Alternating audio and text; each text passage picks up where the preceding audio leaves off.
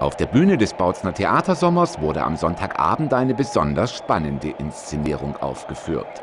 Nach dem Finaleinzug der deutschen Kicker in Brasilien entschlossen sich die Theatermacher, ihre Bühne König Fußball zu überlassen und die 998 Tickets für die Live-Übertragung des WM-Finales auf der Ortenburg waren binnen Stunden vergeben.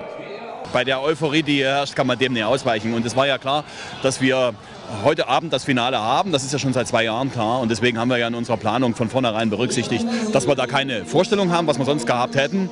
Und dann haben wir gesagt, ja, wir haben alles da, dann machen wir das mal. Das hat es noch nie in Bautzen gegeben und dann machen wir das mal. Und ich denke, so wie der, wie der Zuspruch hier ist, das hat auch funktioniert.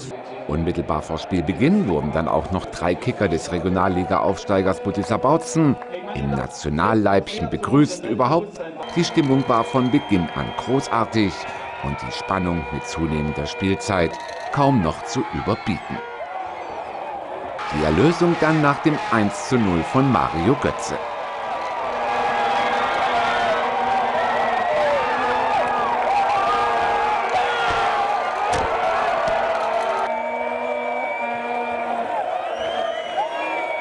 Jetzt hofften nur noch alle auf den Schlusspfiff.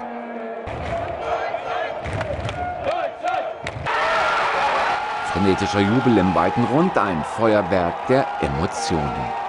Und eins noch, Bautzens Theaterintendant könnte sich auch ab und zu einen schmalen Taler im Wettbüro dazu verdienen. Sein Tipp vor dem Spiel?